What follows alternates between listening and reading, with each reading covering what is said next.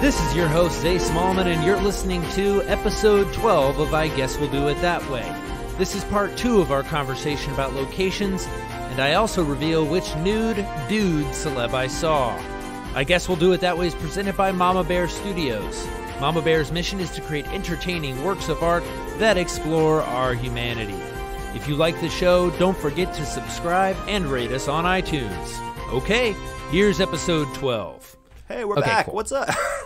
and we're back. Um, and we're back, dude. I kind of would love radio, like having a producer doing it live with callers, and I mean that would be kind of fun, right? Before we decided, when you called me and asked me to do the show, and I Yeah. said yes to you, I spent the next the evening after I said yes looking at Opie and Anthony videos. I think I told you this.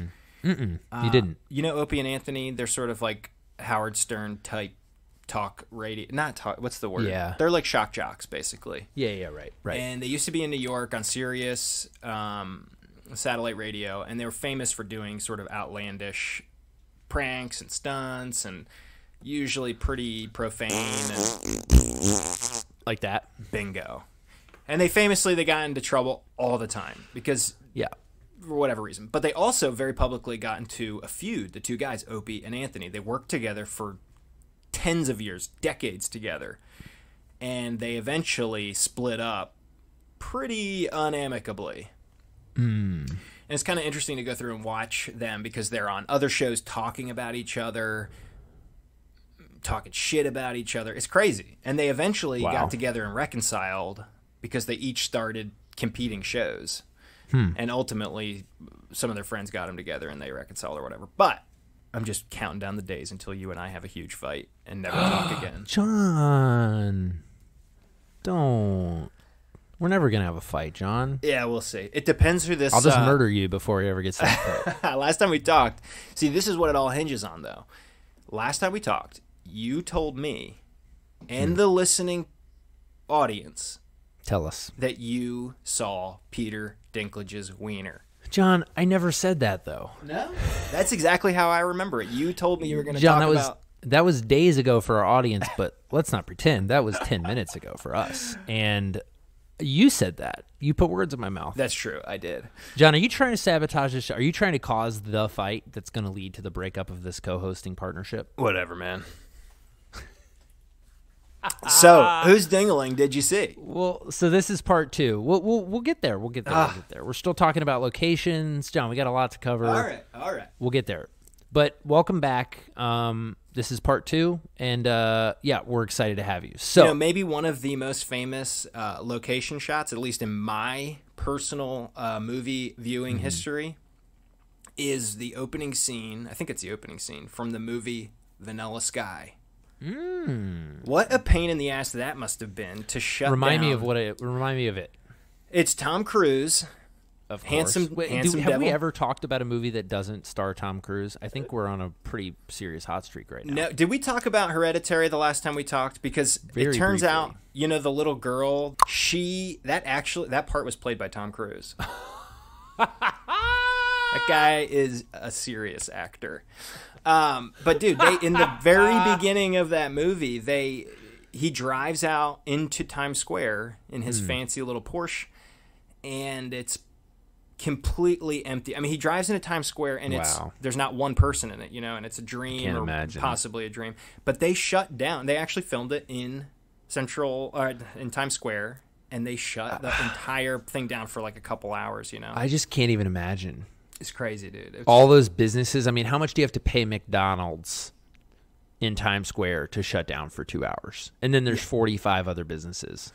kind of interesting Yowza. because that and shot. all the the- cops you would need. Oof. oh, it must have cost a fortune. I'm curious. To, we should look it up. But I'll call that- Cameron and find out. call him. Um, that um, it's kind of funny because they actually turned that part of Times Square. Obviously, it's heavily populated, but you used to before 9-11, you could drive into the middle of Times Square, like right down that main street, whatever it is. And Mm-hmm. Can they blocked it. They've blocked them off now. They're like all You can still drive through you can get it, through. yeah, you can definitely get through parts of it. But the main like middle Hmm, section where mm-hmm. like TKTS is, that you could used to be able to drive through there, Uh, yeah, yeah, yeah, right, right. and now you can't. It's pedestrian. I think What they a- did that That would have been such a nightmare. Yeah, but that scene is really cool. You should go back and watch that. That movie Okay. is very, very good. It's a very good movie. Soundtrack, one of Um, the one of the finest soundtracks too. Anyway, that location that must have been crazy. I can't even imagine. I, I really, I, I really can't even. We'll put a clip. We'll put a clip somewhere. So it's it's been interesting trying to figure that out. I, you know, part of what I'm doing is I'm talking to people who have been here longer or in different scenes. You know, I'm talking to my friend uh, Brandon, who he's a concert promoter. He actually has a really cool company called Sid the Cat, and basically, you know, he's a concert promoter. He like works with bands to try to get shows booked and fill them up, and uh, you know, so I'm talking to him, talking to a couple other people, and you know, just kind of saying, you know, what places am I not thinking of? And for instance, Brandon would immediately he was like, oh, well, you should look at the American Legion's lodges, you know, or halls, you know, because I guess, oh, what is the American Legion? Do you even know? I'm not even sure. it's some like military. It's like VFW. Yeah, gotcha. But they have all these buildings, and some of them, you know, a lot of times they run them out as concert halls or, or for weddings or whatever, and some of them are really, really cool and old. Right. Um, you know, so that you know, and even uh, this one venue that I was talking about was an old Masonic temple lodge.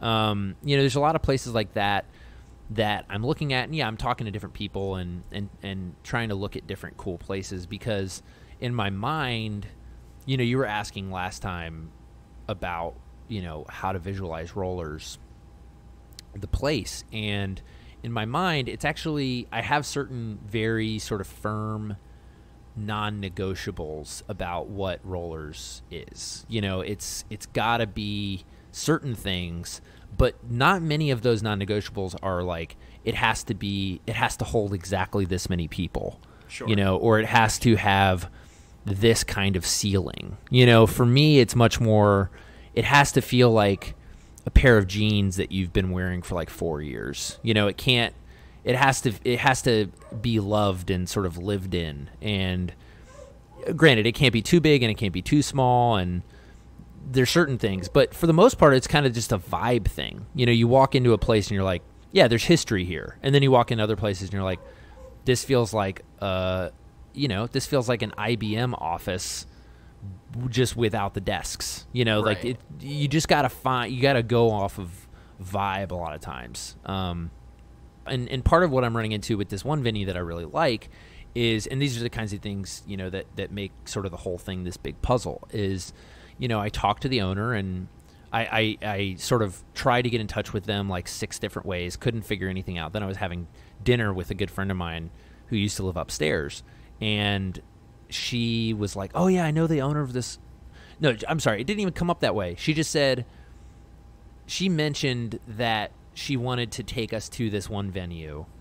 And she's like and i think i could you know i probably get us in for free because I, I like i went to college with the guy who owns it and like you know he's really great. He loves having people.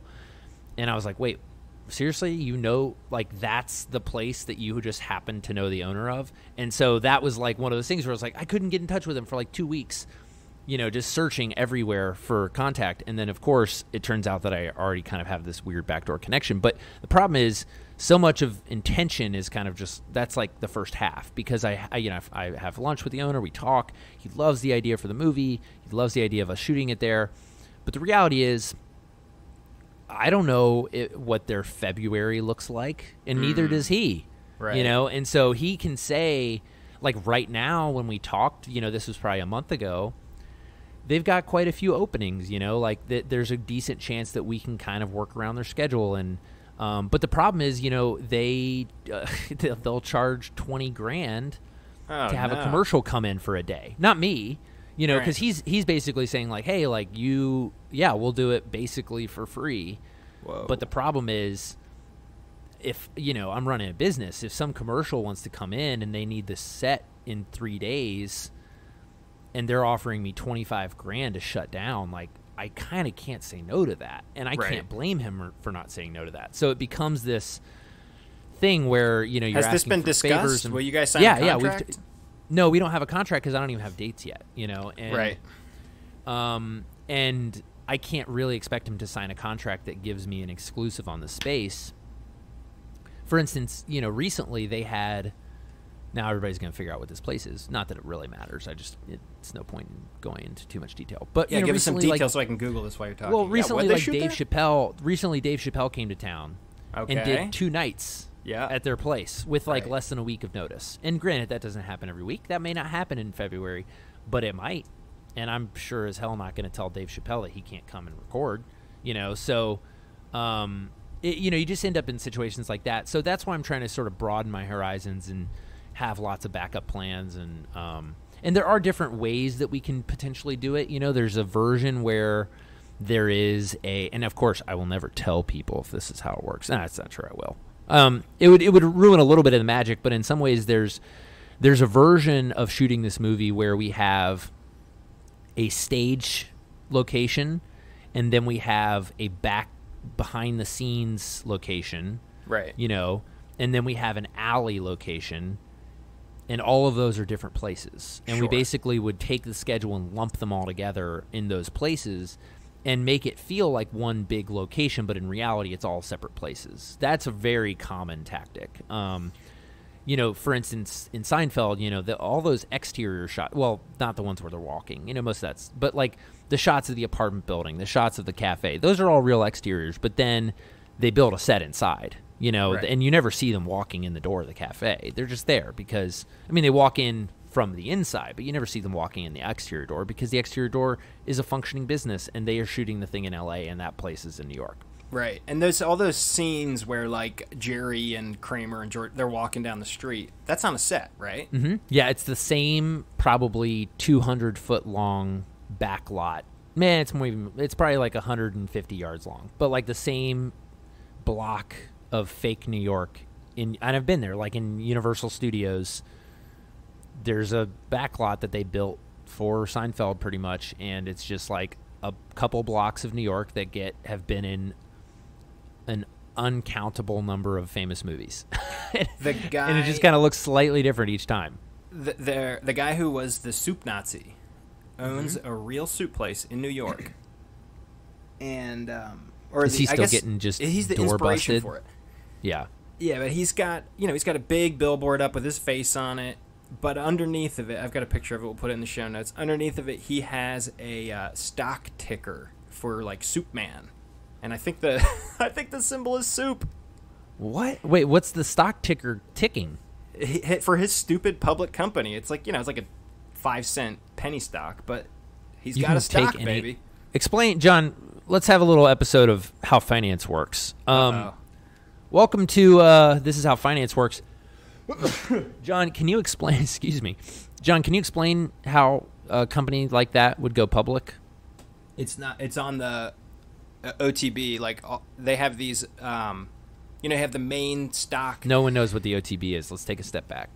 You have it's basically or OTB is actually off track betting. This is OTC, like over the counter, the pink sheets they call them. It's sort of a lesser. Uh, it's a It's lesser. less regulated by the SEC, and there are less regulations. Like to be on the Nasdaq, your stock I think has to be like at least a dollar, and it has to have a certain amount of market cap and a certain volume. Blah blah blah. There's rules.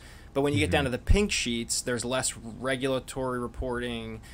There's way less volume usually, and the prices are way way smaller because they're not real companies, you know. And you know, if a Right. company, some companies start out who's the pink starting sheets, these companies? Why do they? There's got to be hundreds of thousands of them, right? Like, There why are. are they? Who, who, who's going through the trouble of taking these companies public?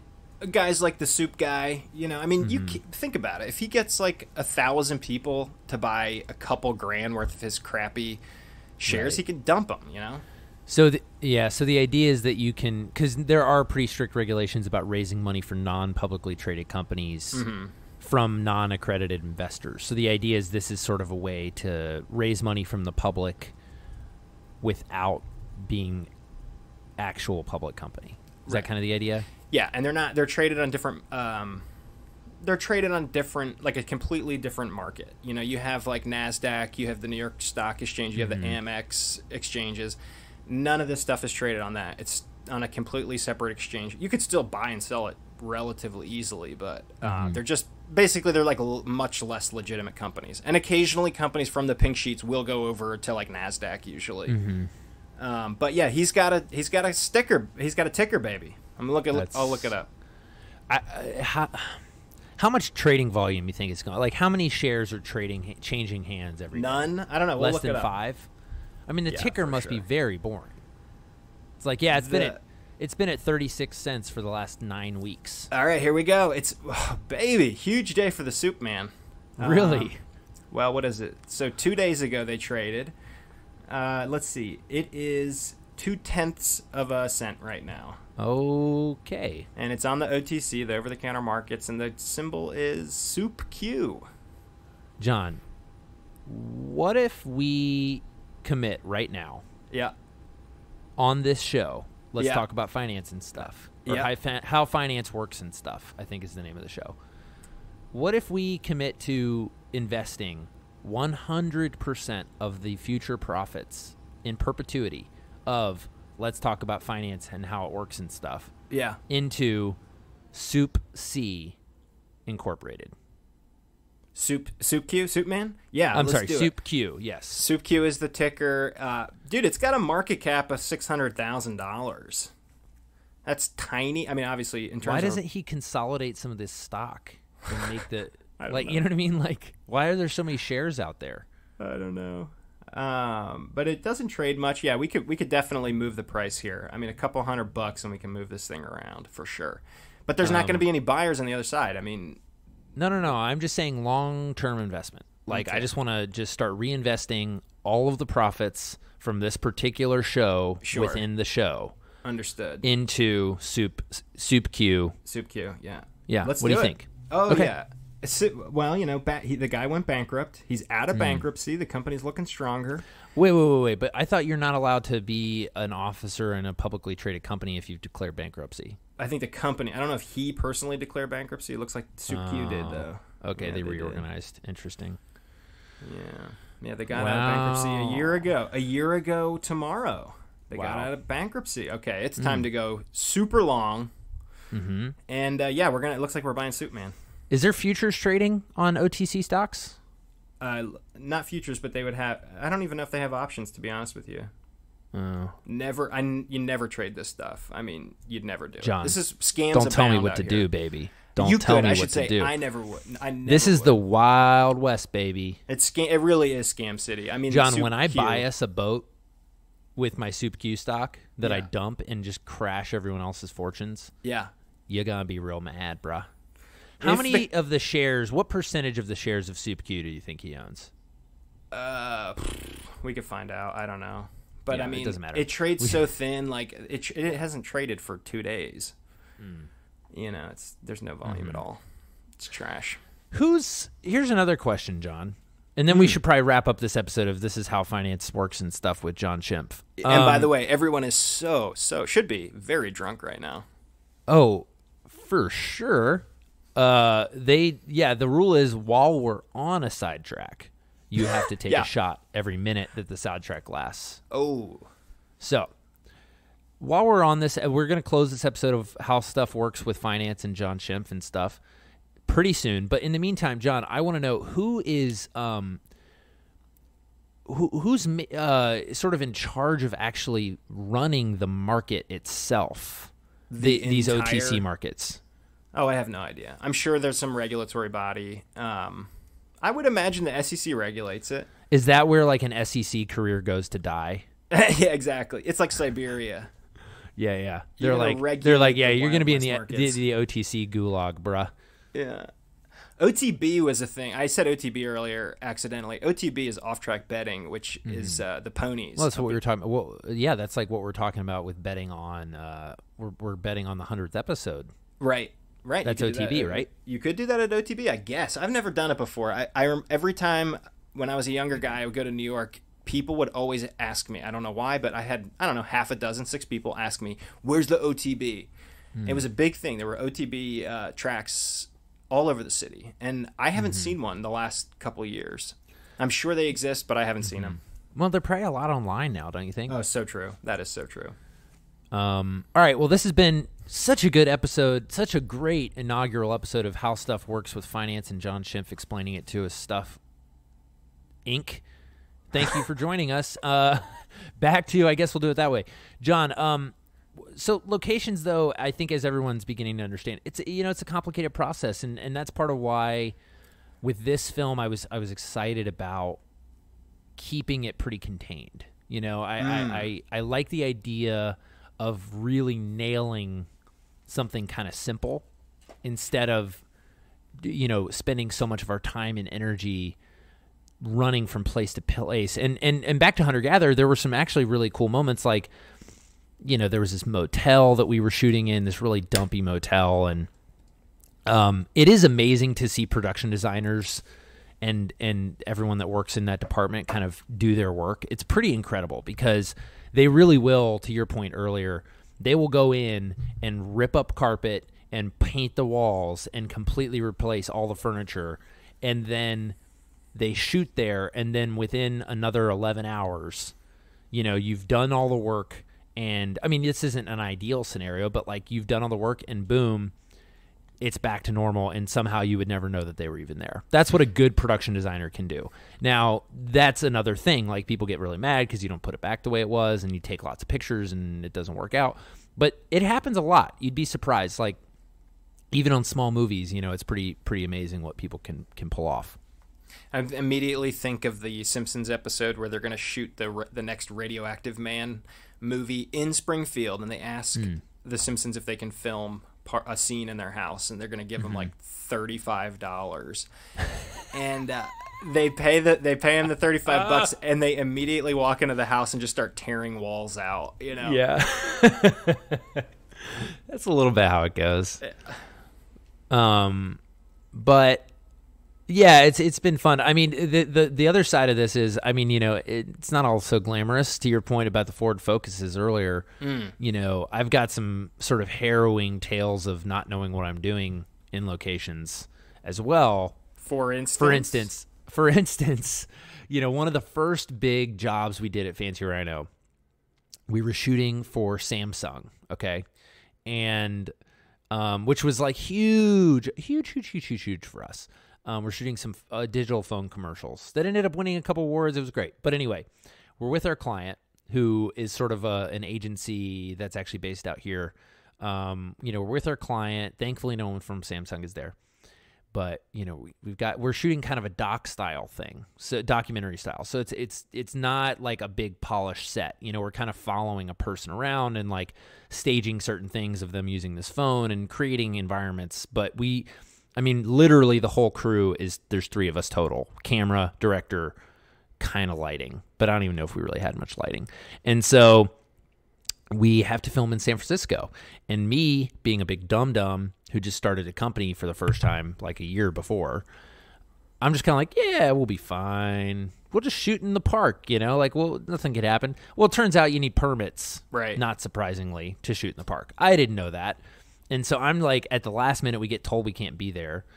And we don't have like By who? location agreement by like a park person, you know, like a cop Okay. and I'm just hideously embarrassed in front of the client. It's terrible. You know, it's Mm. just absolutely but but but of course it was fine. Anyway, we kind of like sneak around it. The client ended up being cool. Allison, you're the best. If you're listening, you're the best, Allison. You're the best client. Thank you.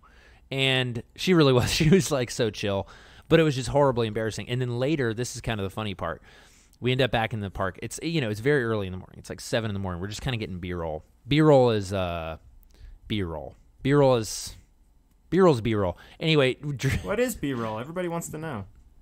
B-roll is the stuff that you see if you're watching a documentary. B-roll is not not interviews. You know, it's like other stuff. It's Gotcha. action footage. Yeah. There's a better definition out there. I'll link to it in the show notes. that makes perfect anyway, sense though. But in a narrative, hold up though.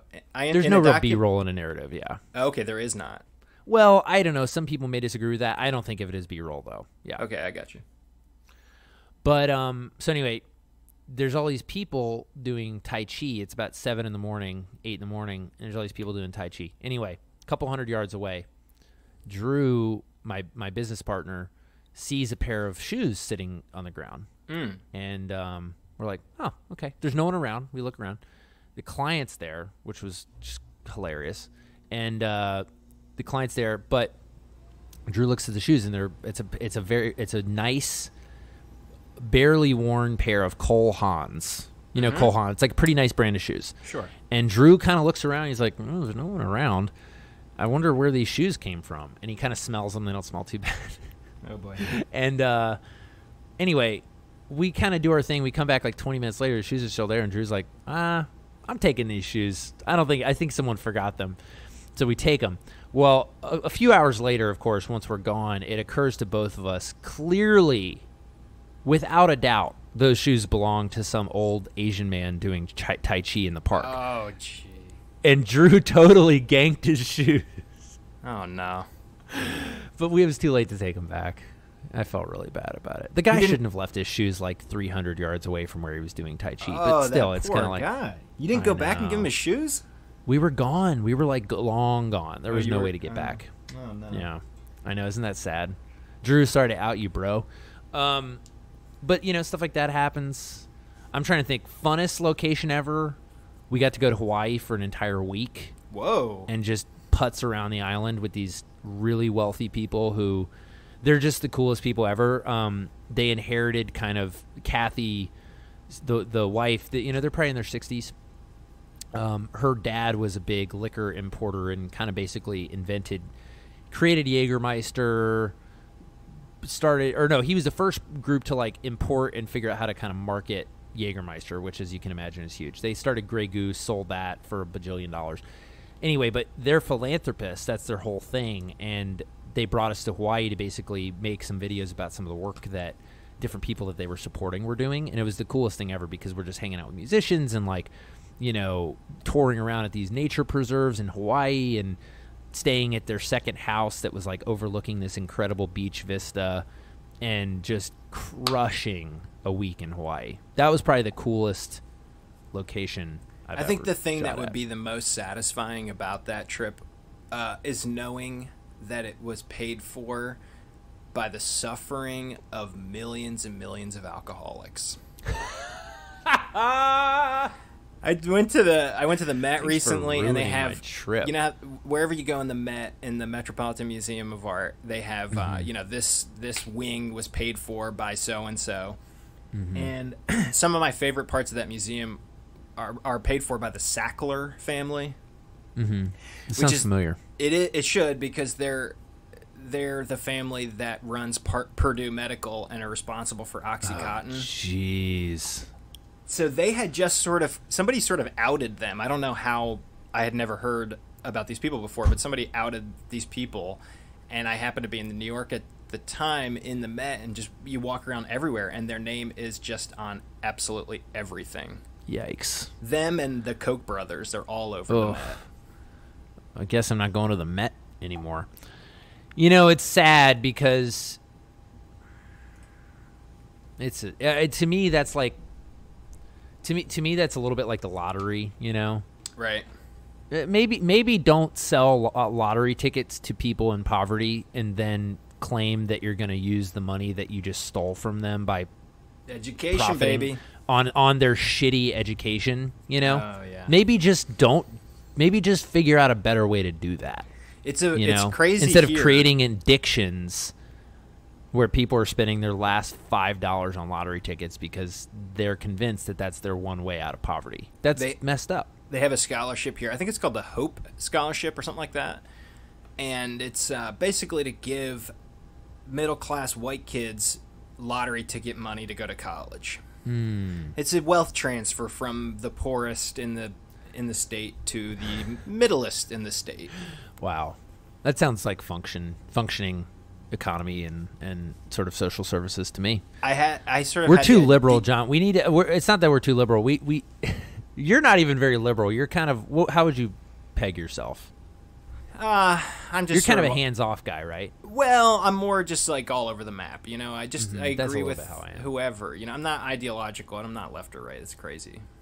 Yeah, that's kind of that's how I feel. I, I I just hope people don't get too turned off by our my, my, my usually my ranting, but I would who I would love to hear the guy who's like the lottery's fine. Who cares about the poor? Like who's getting mad about that? no, it's true. You know where I, I would not complain about the lottery though if they would give it to independent movies. Ah, well, that's Give it- tax. They, don't they have all kinds of tax uh, breaks for you guys out there? Tax breaks are actually interesting. Yeah, they they usually um I mean, doesn't Well, that factor in huge with location? Because you're obviously does, not going up to Vancouver. Yeah, that's actually a really good question. Yeah, I'm not going to Vancouver. So most states that have tax breaks, some of the most famous ones, uh, Georgia actually, just down the road Yeah. from you, Atlanta, is a baby. huge one. They're filming all sorts of movies in Atlanta. they filmed Infinity Wars there. Yeah, totally. Um, there's massive studios. They do a lot of location work. Atlanta's also kind of a bland downtown in Yo, some Atlanta ways, so they is can. so ki- sick. I love Atlanta. Just for the no, record. no, no, no. I, No, I know you're Yeah. not saying it's not, but just for the listeners out there, if you haven't, go to Hot Atlanta. It's the sickest. I love it. It is pretty fun. It's fun, but um, there's great food. You know, good. You know, if you want to go dancing, plenty of places for that. People are nice. It's totally safe. It's a great town. Coca Cola Museum, Yep. but Atlanta, yeah. So Georgia does about a thirty percent tax credit, which is so. There, I'm not going to try to get into all of it. Well, maybe we'll have an expert on one day because it's actually kind of interesting. But I I'm not as studied up as I would need to be. But there's sort of rebates and credits, and it's all tax stuff. But there are some that are really hard to get. There's some that the state puts a cap on it, and so you know they only give away twenty million dollars every year. And then there's some that you have to go through a bajillion logistical and legal hoops to get the money, and then there are others that are really easy, and so all of that factors in. But the baseline numbers, there are a handful of states that are around thirty percent, which the other thing too is can you use it on above the line talent, above the line versus below the line? Above the line is like directors, producers, and cast is the best way to think about that. And then quote unquote below the line is basically everyone who actually makes everything. And so, you know, usually below the line is always covered, but for instance, in an Infinity War, you know, with that many actors, a massive part of the budget is going to be paying actors like Jeremy Renner and Chris uh, Hemsworth and Scarlett Johansson and Robert Downey Jr. and all those people a butt ton of money. And I don't know for sure if Atlanta allows you to deduct, you know, to add their stuff, but if they do, that would make sense why people are doing it there. But basically, what that means is, let's say you make a hundred million dollar movie with qualified expenses. You know, hundred million dollars of qualified expenses. If you handle it all right, you can get back thirty million dollars from the government Whoa, based whoa, on whoa, the fact that you created economic stimulus and brought jobs and rented out hotel rooms and paid caterers and What? hired people and all that kind of stuff. Yep, it's it's huge, and the the states that do a good job at it. I think Atlanta, the budget's kind of balancing itself because they're creating an entire film economy. You know, there's and and and these jobs are really well paying. I mean, part of the reason people like Atlanta is because it's a right to work state. Um, and so the unions have less control, but still, I mean, these are good paying jobs. You know, if you're working as a grip, um, you're getting paid real money, and you don't have to go to college for it. Sure. Um, so yeah, Georgia's an interesting place. There are other places. Um, you know, L.A. I forget L.A.'s status about tax credits. Basically, the reason I'm not going to an Atlanta or to a Vancouver or whatever is because most of these states they're all different, but most of them have what's called a floor, where if you don't spend a certain percentage, if you don't I spend a certain budget, you don't qualify. Right. And I think in a lot of states I might qualify, but the actual hoops that I would have to jump through and all that kind of stuff starts to not be real worth it, you know. That At seems this budget absolutely level. crazy to me that you can get up to thirty something percent back. Yeah, it's pretty wild. I mean, especially because a lot of states, like I think New Orleans is this way, you have to run everything through a local company and you have to mm-hmm. Be and you can only pay that to people who are residents of Louisiana. And so that's how they keep the money in the system and they're like, "Yeah, that's great. You can bring in Scarlett Johansson, but you're not going to be able to get 30% back on her $12 million salary. Sure. Because she doesn't live here. She's not adding to the economy. But there are, I think, some states that are pretty forgiving about that kind of stuff. I think California has like a an under a million or under two million dollar indie category credit, you know, fund basically that you can apply for, but it's very difficult to get because, as you can imagine, there's a million movies getting made, and I think they it, it's it's different, you know. And then in Europe, it's it's its own thing. You can there are arts grants, and so I you know I met some people recently that were making a movie in like I don't know Hungary or something, and it's kind of nuts because there's not really a market, which is why they have to subsidize it. But they want the arts to be made, which I think is great. And so the government will be like, "Hey, this is a really cool project. Here's you know similar to the way we do with like certain scientific projects and things. They're like, here's a million dollars. Go raise the other two hundred thousand, you know, from uh, from private investors and things like that. But this is non-recoupable. You know, like this is just a grant. You just get to have it. Um, there are other tax credits. This is uh, gosh, this is probably so boring, but Um, there are other tax credits that are transferable. There are some that are non-transferable, which means that you don't actually get a cash rebate; you just get a tax break. You know, I think that's typically I get my terminology confused, but that's typically what considered a rebate, where basically it counts against what you owe, and so it reduces your liability. And so what you can do is there's this whole secondary market in film where first of all you can borrow against tax credits. And so you can if you are an established company, you can get a bond that basically says if you finish the movie, you will be owed twelve and a half million dollars by the state of Georgia, and we will loan you that cash because you don't get it until the end. We'll loan you seventy five percent of that cash with a twelve percent fee, and then you pay. Does that make sense? Mm-hmm. Mm-hmm. Tax credit funding is a whole thing, and and we've actually, you know, we've actually done. We've I've actually had conversations about trying to raise money to basically fund tax credits, where it's kind of the same thing, where you basically are just fronting that based on a contract, and then there's also transferable. There's a secondary market. There's these specialized banks that basically connect, and they, they do these with all sorts of industries, but you can basically sell transferable tax credits to people with a larger tax liability. Um, so if you don't get the actual cash, you're like, well, I don't need a $20 million tax credit because I don't have a $20 million tax liability. You then sell that at a discounted rate to someone who does have a $20 million tax Sure. liability. Anyway, I think we buy pretty boring stuff, but this is kind of how movies get made, you know? Well, it no, it's absolutely fascinating. I'll tell you. There's a couple things that pop out of my head. One, how has there not been, or maybe there has been, a race to the bottom, right? Like, so if Georgia, mm-hmm. which Oh, yeah. 10 years ago had no or very, very little movie stuff going on, now has a ton of it. Tennessee, you know, two hours two hours away. Tennessee has a tax credit too. but you would f- imagine that if Georgia's giving out 30%, hey, we'll give out 50 because that's Mm-hmm. an insane amount of money. Um, That actually, that's a good question. It kind of has happened a little bit. Um, certain states of Maryland, for instance, used to have a great tax credit, really, really positive. And so Veep was. For, uh, th- there's been a lot of stuff there, but Veep is one example. The governor, uh, you know, slightly more conservative governor came in. He was like, "We're just throwing money down the tubes." Got rid of it, and Veep left. And a lot of people were ticked, and then a lot of people were like, you know, well, we weren't making money anyway. I Right. tend to think that the tax credit thing makes a lot of sense. I do think it needs to be measured. Um, New Orleans had a big thing. They lost a ton of production. They're trying to get it back. But yeah, you're right. There are a lot of smaller states. I think Idaho has a great tax credit. Kentucky, Ohio, they all have great tax credits. And people are shooting there. The problem is, you're right. Like, it's not just a tax credit.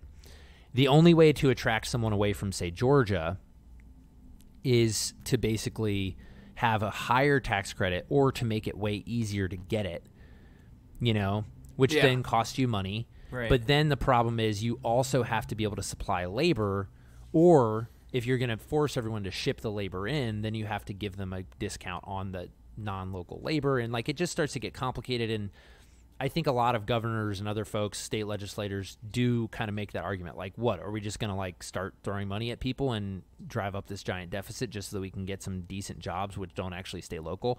The good thing about Atlanta is they've been doing it long enough that um the, it's it actually is creating local labor. Like there actually are training programs and they actually are creating an economy.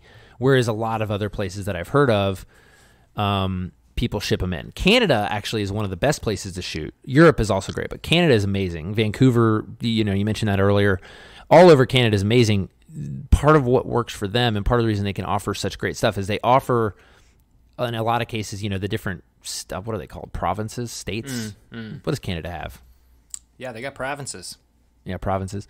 They're all a little different. Um, some of them, though, will have a tiered system where you get X percent for out of out of country folks who come in, and it's not a ton, and then you get a different percentage. I do think New Orleans is kind of the same way. You get a different percentage for local expenditures. So anything that like actually stays in local economy. So, and then they have certain regulations about like how many people on the cast and crew and all that kind of stuff. I mean, you, you're really incentivized to hire local, which in that case it does make a ton of sense. Um, but yeah, it just depends. I mean, again, I'm kind of flying under a lot of that radar intentionally, you know, because it just Right. starts to it just starts to get bloated and and at a certain point it starts to make a ton of sense. But for me, I'm kind of like, you know, everybody's working for next to nothing.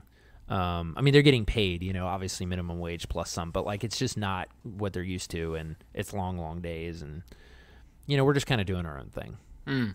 Um, you know, Ted Turner is a huge reason for the Mm. all the film crap in Atlanta, and he- CNN, right? CNN. Well, I'm trying to think of all of his uh, TBS, Cartoon Network. What's kind of his? Time Warner, all that crap. Um, wow, I always forget about Time Warner. That's so crazy. and um, he went to school. He went to high school, about a five minute walk from where I'm sitting right now. Really? Which high school? He went to McCallie, and he gave him like uh, Whoa. milli- a crazy amount, like many, many tens of millions of dollars recently. He's also the largest private landowner in the country. He owns like hundreds of thousands of acres. And he owns uh, steakhouses in Atlanta called Ted's. How is the steak? I don't know, I've never been. Yeah, me neither. It's got a picture of a giant bison on it. I think it's like a Hmm. they they do a lot of bison, which is gross. Is it? I'm not a fan. Have you had it? I had a, Uh, a bison burger ago. in New York. It was trash. Oh boy, was it dry, gamey? It was yeah, it's crazy gamey. Hmm. And it was one of those giant like uh, you know, sort of show burgers. It was like a four and a half pound burger. That one of those ridiculous things. Do you think? Um, hey Dan, if you're listening, Dan the Peacock Man, Dan, do you know anybody raising bison? Because Well, uh, sure, Ted Turner, dude, he's raising them. well, all right, we need to find a Ted Turner connect because I kind of want to try some bison. Oh, you can get it anyway. See how it see how it stacks up. oh, go to a. But I want burger good bison. Yeah, I want I want like a I want to know that I'm actually getting the real bison experience, the one that keeps people growing them, you know, and raising them and slaughtering them. Um, dude, Ted Turner has a 590,000 acre buffalo ranch. Whoa. It's called That's Verm- so big. 590 acres. 590,000 acres. I'm sorry. Can you convert that to square miles for me real quick, Jon? No, but I can uh, convert it to hectares. It's uh, 293. I don't know how much a hectare is, bro. Me either. Uh, but it's called Vermejo Park. Vermejo Where Park. is right? it? It's in um, northeastern New Mexico and southern Colorado. Ooh. it's about three bro. quarters of the state of Rhode Island. Oh my gosh. Dude, that's 921 square miles. That's nuts. Well, good for you, many Ted. Miles. Teddy boy. We just love our Teds. Teddy Bronson. Teddy lives on about a half an acre. Teddy, good luck mowing the grass. I heard it's been real rainy up there. Mm. Um, well, Jon, what else do we need to cover? Uh, Is your location? have your location desires been met?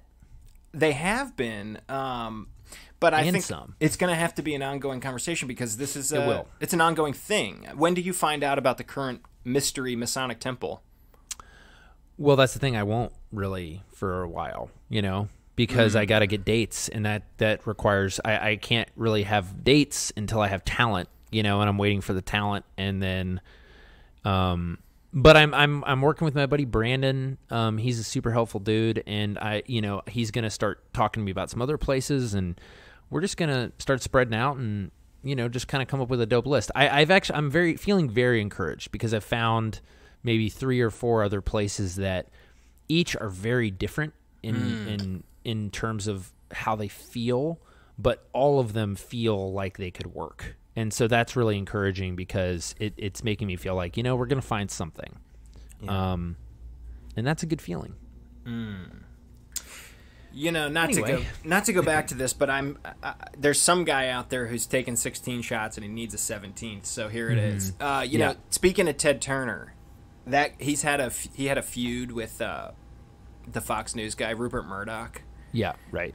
in way back in the day because their yachts collided. How the heck does that happen? I don't know, but Why is it Ted was at a race. It parking was like his yacht America right Cup. next to? That's insane. Yeah, apparently that was the genesis of the two of them hating each other. You know, they own opposing networks, CNN, Fox, Mm, yeah, but yeah, yeah. Right. still, they're the yeah. That's the that's the rumor that they they started a feud after their yachts collided. Wow. What There a it is. waste. There it Maybe is. just you know what what what do you think uh, McCallie thinks about you know HBO's adult content? Does he have any part of that? Isn't HBO part of Time Warner? Uh, I don't know. It's a great question. Yeah, I think it is. Is it? I think it is. Yep.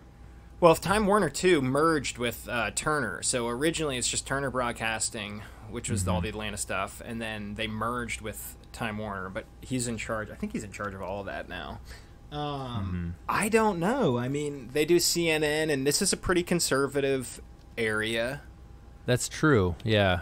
But I don't know. You know, I don't spend any time there. Anybody I've ever known that I brought it up to, I don't even think they really knew or cared that he went to school there. Aside from Yeah, the fact that he gave him a sure ton of money, I'm sure it doesn't really matter. they couldn't care less. Because I think Bob Corker went there too, didn't he? Bobby. I don't know. Bobby? Bob. I think he's probably listening. Hey, My Bobby, let us know. We, we want to know where you went to school. My life partner has done uh, yoga with with uh, Senator Bob. Ooh, that's he- kind of a fun fact. Yeah, I've met him a couple times. You know, when I say met, it's like we said two and a half sentences to each Yeah, other. Yeah, that's about that's about how far I've gotten with him as well. Yeah, but it's cool. He's a cool guy. Yeah, he's nice. What was the yoga experience like? Uh, well, you know, he's a tiny guy. He's a really, really short Mhm. guy. He's but very short. He's super friendly, and they had a couple conversations. They, my life partner and my kids ran into him on the street around Christmas time last year too, and he came to their school recently to dish Mm-hmm. Ooh. on uh, all the happenings. Wow. I want to I want to just imagine your, life partner, you know, she's she's there doing downward dog. Right. Bobby's shorts, you know, he he goes into a headstand his shorts kind of fall up Right. and she's like she's like, "Hey Bob, um, you're do, do you mind?" And he's like, "Oh, I'm sorry, sorry, sorry." You know, something like that. It'd be like, hey, sorry, sorry, sorry. Yeah, yeah. And she's I mean, it's a j- j- real accident. You know, it's not like he's being creepy or anything. Sure. Um, I hope that didn't happen. It but would it might be have. really hard to say something to him, wouldn't it? A guy like that. Yeah, perhaps. You know, I saw. Uh, oh, actually, you know what? We didn't do the mail. There wasn't really any Oh. good mail. There was there was one note from uh, Archie, Okay. Archie of Florida. Archie said um, he asked if I ever run into famous people because I've mentioned that a couple times. Mm-hmm. Archie, not too too often. Um, I did see Zach Galifianakis on the street recently. What do you I do? did Do not you stop him and say anything to him? Nope, didn't say anything. I met Samuel Jackson one time. No, that was cool. Chattanooga native, baby. I know, and that's what we talked about. Um, Nuh-uh, I was like, "Hey, yeah." I was like, "You're from Chattanooga, right?" And he was like, "I am." He's, I was like, "Yeah, so am I." And he was shocked because we kind of met at like an industry event, you know, and so uh, I don't think he was expecting that to be my next follow up. It was Right. pretty interesting. We talked for like a minute, and then you know the the speaker started going again, and I had to go back to my He's seat. he has said publicly some very disparaging things about this city. Um, I don't find that surprising. No, but he lived here, you know, in this, I guess the seventies, probably. Oh, I can't imagine how awful It was Chattanooga was back then. Yeah. I think his. I mean, it's pretty darn problems. segregated and frustrating now. I Right. can't imagine back then. Yeah, it would have been a nightmare. Yeah. But so I met him, and then the, the reason I thought of this, I've got a few other fun ones that I'll pepper in, you know, throughout. But um, th- they're really not that great though. That's why I'm not like dominating the end of the episode with them. But I did one time. I was on a trip, a, a work trip with my dad. We had a day to kill. We were shooting some video, and we were like, that we were staying at this hotel that the client put us up in, and we were like, you know, there's a there's a, a spa downstairs. Maybe we should go get massages. So we did. It was great. We did. We got massages, and then who should I run into in the locker room or whatever you call that? But uh, Alec Baldwin's brother. Oh, so that's happened to so many people. They think it's Alec, Alec and- Baldwin's brother, Stephen. Ooh. And uh, I saw I saw his yoo-hoo, his winky. Nuh-uh. Yeah, I saw him naked in it, and then and it was uh, it was okay. It was I wouldn't seek out the opportunity again, Right. but we did not really exchange words. Man, We was just- it I just- manicured? Uh, no, just normal, Huh. normal, un unscaped. How did he look naked? I mean, aside from his dingaling, is he in good shape? I, I don't even know what he looks like. Mm, uh, he's just he's like a dude in his you know early 60s just kind of like a guy i don't know how old he is but you know he's just like a he's just a guy let's find out how old he is he he he, he didn't have like a big belly or anything but he also certainly was not cut um Yeah. I went to a local not YMCA. like me like I went to a local Oh, like pool, you know, rec- like uh, in the last couple of years, and I oh he's 50 that's not that bad. bad. I No, ran no. into a college professor of mine, and me and my kids are showering, and you know, it's just so awkward because he strips mm-hmm. down completely naked. I guess me and the boys at this point are like drying off. You know, we're getting we're out of there, so we're mm-hmm. covered up. But you know, he's in the middle of talking to us, and he's just like dropping trout. It's so awkward. Yeah, It's just the sure. worst. Yeah. No, it's not the best. I don't know if it's the worst, but it's certainly not the best. It's not great. There are worse things that could happen, but you know, come on. You don't want to see older people that you know naked. You just don't. no, yeah. I know. I realized at some point that I was going to the same gym as my therapist, Uh oh. and um, we just we, we, we, we didn't even talk about it. We just uh, we we exchanged a glance and just kind of were like, "We're not going to talk, right?" And he was like, "Yeah." That that we said that with our eyes, and, Right. and it was okay. You know, we just kind of avoided each other. It was fine. Did yeah, that's so awkward when you see somebody out of place.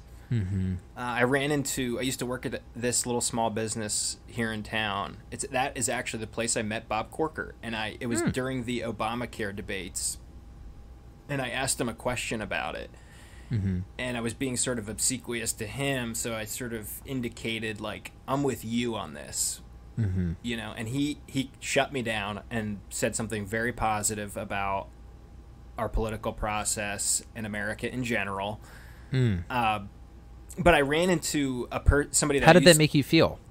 it was I was actually heartened by it. His response was Mm-hmm. really I just said something sort of flippant like uh, this is so crazy, isn't it? You know, nothing really that deep Mm-hmm. Yeah, yeah, yeah, get you. whatever. But I was just sort of indicating cuz he's on the side that thinks this is crazy. You know. Yes. So I said something like this is crazy, isn't it? And he's like, "Wow." You know how he talks Bob Bob Corker. He said Well. something like, "Wow, a lot of people need health insurance," or something like that, and it's like the process is working itself out. I was like, "All right, man, sick."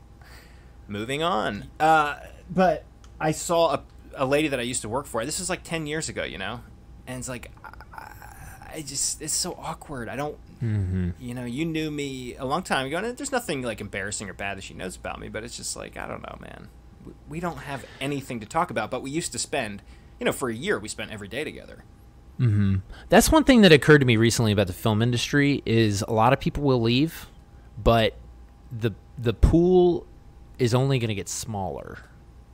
How so? You know, like the well, it's already a very very very small industry in mm. terms of people who are working professionals. There's just not a lot of jobs, especially in like the writing, directing, producing world. There's just not a lot. And so and then it gets harder the bigger the projects get. There's fewer and fewer people actually making stuff. Mm. The the bigger the projects get. And so eventually if you last, you will have probably been at it for 30 plus years, and there will only be so many people who have also made it for 30 plus years, you know? right, right, right. And so by the end, you think about like, and, and, and what happens is you go to these festivals, you go to awards shows, and if you're like really crushing it, you know, in one year, that's how I actually know some people is going to like awards shows. Like you go to like a brunch, and then you go to the actual thing, and then you go to the after party, and then you go to another one three weeks later, and you see the same people. And so if you're like Meryl Streep and you're at the Oscars every year, that also means you're at every event leading up to the Oscars and you're at the Golden Globes and you're at all the other events and they get you just end up seeing the same people and you do that for 30 years consecutively. There's only so many people who have lasted that long and you just kind of like will be seeing the same people for a very long time. Sure. Which isn't necessarily the case if you work in like a normal giant corporation, you know? Yeah, and a lot. Of, it's sort of not incestuous. That's too strong of a word, but a lot of these people. No, it's insular. It is insular. Much better word. Yeah. And that's part of the reason it's hard to get things done. Do you Yeah. feel like an outsider? Oh, for sure, for sure, for sure. Yeah, Or- definitely an outsider. I've been poking and prodding at. I'm okay with that, but I'm very much an outsider. Yeah, I've been poking this like this point a little bit just out of curiosity, but um, I asked you before if anybody said anything to you about like this business, this town, and I wonder if anybody has given you the. I asked you this exact question before. Has anybody given you the business? But have people? Do people go out of their way? Certain people go out of their way to make you feel like an outsider. Big dog. Have you ever been big hmm. dogged? Yeah, I've been big dogged. I, I'm trying to think of a really specific, concise example, and I'm having trouble thinking of one. I mean, because the thing is, is most people are Yeah, yeah, yeah. Okay, here's an example. There was an agent at an unnamed. Uh, there's an agent at an unnamed agency, a big one, one of the f- big ones, and we had a couple conversations. Um, The Central I came- Intelligence Agency. yeah, it's, it's one of the ones that you don't know about. National Security. Um, Are you listening, NSA? Do you think they're still listening, or do we bore them off? That's the t- that's the tactic. I don't want to get caught on the sidetrack, but take a drink if you realize that the fact that every phone call being recorded forever makes it possible to go back in time in the future and blackmail people retroactively. Hmm. A senator, a guy who's going to become a senator in 50. That's basically years, what Facebook is. Yeah, well, exactly. It's already used like that publicly, but all the private stuff that you don't want to know about Anthony Weiner, are you listening? All Ooh, the ooh, ooh. Did you hear about Jon? Did you hear about um, which is it? National Enquirer. There's a vault yeah with yeah, yeah. blackmail materials. Oh, for sure. Well, dude, How crazy is that? You're telling me that some guy. This has happened, for instance. This a guy who works at the National Security Operation Agency. Midnight Climax, bro. We, we did talk about this. The guy who works at the NSA got a guy who works at the National Security Agency got busted recently because he was spying on his like girlfriend or spouse or hmm. whatever. He was using all the stuff that what's his nuts who's in Russia right now, Snowden hmm. Snowden, yeah. all the stuff that he talked about, these boneheads were used into like, or a bonehead, presumably many, many more would are or would do this, using it to spy on people in America that they know. And you're gonna tell me that like if you have access, if I were sitting there or somebody like me is sitting in an office and they potentially have access to every single American's text messages, emails, dot dot dot fill in the blank. How are you not gonna look at that? Mm-hmm. How are you not? Yeah. No, that's It's a freaky. blackmail machine. Mhm. And they're recording totally is. calls right now. Like if if I decide to run for Congress in 20 years, all of the every online thing I've ever done, text message, email, phone call, everything, can be used against me in the future. I wonder how many kilowatts of electricity are you storing all of that information? There's a big data center out in Utah that has been built for this The exact one on the mountain. for this. I don't know, but it's built for this exact purpose. So crazy. Um, man, what a Glug, wild concept. Glug, glug, glug. Keep on drinking, folks. Jon, Here we go. mm, maybe don't get us off track. So One bad. final thing I want to just say to, to oh boy, to- here we go, another off track. the- Good thing people have had a few days to sober up. Speaking of sobering up, that's what I wanted to talk about. Uh, what just today or last night, I guess. Um, our America's most famous non-American inventor, Elon Musk. Yeah, What about him? he got in a little. He got in a little trouble. Did you see this? You did. Uh, you must have seen it. Oh, oh, oh, oh, oh, with the stock. Yeah, yeah, yeah. But tell people, tell people. So t- Elon Musk, uh, who I I think is a cool guy. I think he's a fascinating guy. Uh, I'm skeptical of the company. I think he's fascinating. I don't know if I would call him cool. Don't I don't know if I would cool? like want to be his. Well, I I wouldn't want to like be his best friend. Oh, really? I think he'd be really fun to talk to.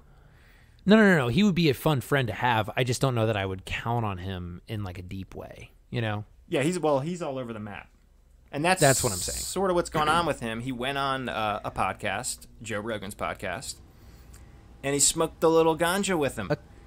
Oh, with Joe. with Joe Rogan, yeah, he smoked. I gotta listen him. to this episode. Yeah, I mean it's kind of a mediocre episode. It's cool if you like Elon. I enjoyed it, but yeah, it was kind of a flat episode because he's a weirdo. Oh, really? He's a robotic dude. He's weird. Do you think that episode of Rogan is going to beat this episode in terms of downloads? I think the amount of downloads that they got in the time it took me to say downloads is more than we'll ever have. Ah, I wish I was able to disagree with you in good conscience, but I just don't think I can. But the Like so many downloads. it's just bizarre bizarro world because as soon as I saw uh, that Musk was going on that show, and I saw it because Joe Rogan posted an Instagram picture of Musk smoking weed on his show. So I immediately flipped over to the like financial news and Tesla stock was tanking, not tanking, Of you know, course. like eight, nine It's dropping. percent. That's Uh, a lot. It was at the time. It's like six and a half now, but down six and a half percent. Not, not nothing crazy, but all of the headlines like CNBC, Fox Business, all this stuff was just Elon Musk smokes weed. Oh my god. You got to figure billions of dollars, right? I mean, if you, if it goes down ten percent, that's like five billion dollars, It's insane. depending when that happens. Five billion bucks because this guy smoked a joint. oh my gosh. Now there was more news on the day. Like right after that, the CFO immediately quit, and the HR, the head of HR quit. quit. Yeah.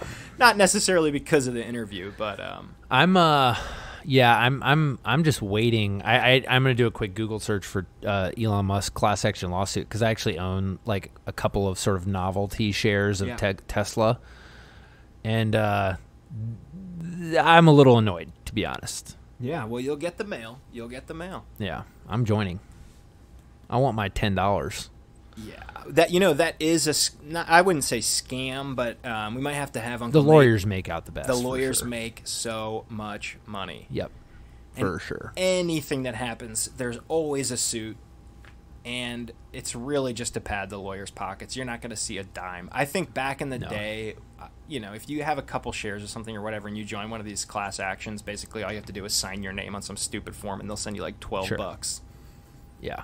It's your No cut, thanks. and the lawyers get like you know Yeah, tens of millions. Cool, Jon. Well, uh, this has been a delightful part two. Indeed. I'm excited to. What what, what are we going to talk about next week? I mean, the world is our oyster, baby. Yeah, we do. We do need to talk, and we need to talk about rollers. Oh, maybe we should talk about rollers next week. I think we need a rollers update Oh, because I you're in Well, the middle of casting, mm-hmm. right? You're in the mm-hmm. middle of location hunting. We talked about Jon, that's that. such a good. I never would have thought of that, so I'm so glad that you did. I know. I'm gonna bring it back. We're going to home. talk about rollers for sure. I, you know, Jon. One thing we haven't talked about a lot. You have not yet read the script I have not. because I have not sent it to you. No, but I And I have think we written should my own conver- version of it. We'll which talk about I have read because I'm a good friend. You've read. I've read the version that you ripped off Mm. based on the log line. Um, no, but I, I want to talk about a the, the should should you read the script Right. because that's a conversation, and then b you know we'll just talk about the development process. We'll talk about how a script gets written. I mean, I think there's a lot of meat there. I think it's going to probably end up being uh, strewn out over you know the the coming many months that we talk about development. But in some ways, I think you know just kind of kicking that topic off would be a great way to, to spend next week. What do you think? Yeah, I think it's a great idea, and I do know, just to build it up, because you've taken screenwriting classes, you wrote this script, you've written Mm-hmm. things before, so this is not, you know, some kid in his basement cranking out something, is it? No, it's some kid in his apartment cranking out up. No, I mean it's it's it's clearly I'm not gonna I don't know if I'm the best judge. I I read a lot of scripts. I've written a lot of stuff. I think it's good, and I think um, that's been confirmed by people who are signing their names onto the project. You know, like professionals, professionals who read a lot of stuff, like Rebecca and Greta and all these other people who are involved with the projects who have great taste and think it's good. So that's been really encouraging, and I think. Um, and yeah, I, we'll, we'll get into it next week. Yeah, we'll I'm get into it, and I, It'll you be know. I want to Yeah, tease it just a a little time bit more coming. by saying I want to know how you can tell in Hollywood, the land of fakes and phonies. How, how you can actually tell if somebody likes something, but we're not even going to talk about it right now. We're not even going to discuss it. 'cause Mm, yeah. we're going to get. We're gonna save that for next week. Okay, cool. Talk well, this you has been fun. We'll talk soon. All right.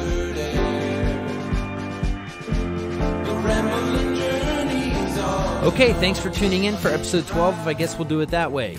Join us next week when we talk about the development process and whether or not Jon should read the script for Rollers. Also, don't forget to send in your address if you're a winner of one of the coveted t shirts. And no cheating. Today's show was produced and edited by Isaiah Smallman, executive producer Jon Schimpf. Outro music is Man from Nowhere by Tom Paulus and Max Belz. Our cover art was designed by Nate Giordano. This has been a production of Mama Bear Studios. Feeling the heat of the desert air. The rambling journey is all I know. 'It's your boy.